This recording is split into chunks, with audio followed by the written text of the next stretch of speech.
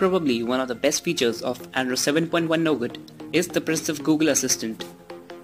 This time around Google has made it exclusively for the Pixel devices.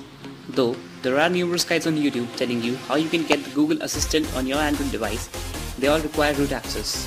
So if you're not willing to root your Android device but still want to taste the Google Assistant, then you're in the right place. Today, I'll be telling you how you can get your hands on the Google Assistant without rooting your phone. So, without further ado, let's get started. The first step of this guide is opening a Play Store and downloading an app called the Google Allo.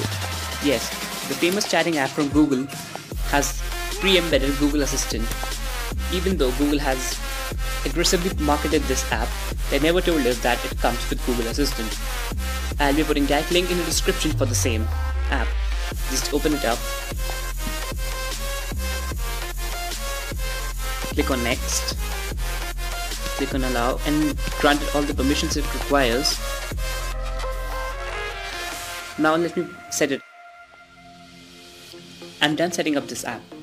Now, as you can see, Google Assistant is on the top. The only difference between this procedure and the result you would get on following the procedure which requires root access is that following the procedure which requires root will give you Google Assistant that can be opened by long pressing your home button. But this procedure requires you to open Google Allo manually and then using it. Everything else is same.